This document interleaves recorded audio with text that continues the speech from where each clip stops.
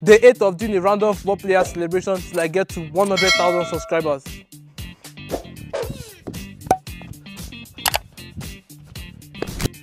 Robert Lewandowski. Robert Lewandowski. Wow, that feels very nice to pronounce. Robert Lewandowski.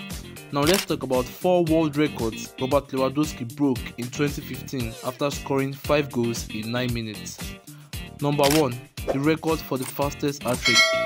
Number 2, the fastest 4 goal haul.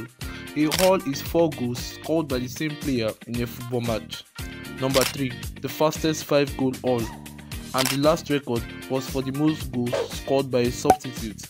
Wow, all these records just in 9 minutes. Now let me know in the comments whether Robert Lewandowski was robbed of the Ballon d'Or in 2021.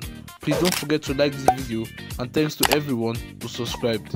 Thanks for watching. Make sure to subscribe and let's get 100,000 subscribers. See you tomorrow.